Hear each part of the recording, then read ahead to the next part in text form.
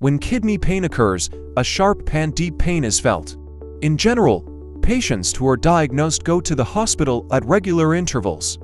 The person who knows the cause of the disease and is diagnosed can find a solution to kidney pain with some methods at home. Water, kidney pain is usually caused by a kidney infection or kidney stones.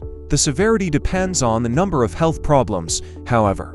The first thing to do to reduce pain and kidney problems is to increase the amount of water consumed. Drinking enough water every day helps flush out bacteria and toxins from the urinary tract. You can drink 16 to 18 glasses of water every day. Does olive oil reduce kidney stones? Extra virgin olive oil can also be consumed in the treatment of kidney pain. A little lemon juice and extra virgin olive oil are mixed.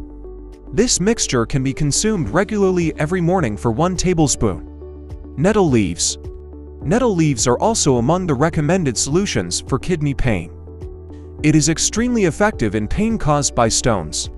A little nettle leaf is placed in a glass of boiling water. Then it is left for 10 or 15 minutes to infuse.